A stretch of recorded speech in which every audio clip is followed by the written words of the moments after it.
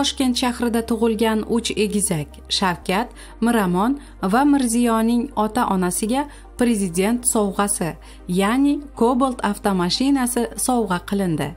Bu haqda daryo muxbiri xabar beradi. Shuningdek oilaga prezident sovg'asi sifatida kolyaska va turli sovg'a salomlar yetkazildi. Avvalroq 18 dekabrda toshkentda ruslan qoryog'diyev va mohigul shoyiqulovalar oilasida uch egizak o'g'il farzand dunyoga kelgani haqida xabar berilgan edi.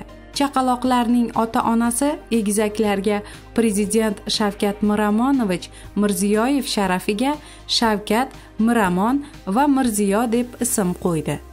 Ma'lumot uchun o'zbekistonda uch egizakka prezident sharafiga ism berish holati to'rtinchi bor qayd etilmoqda.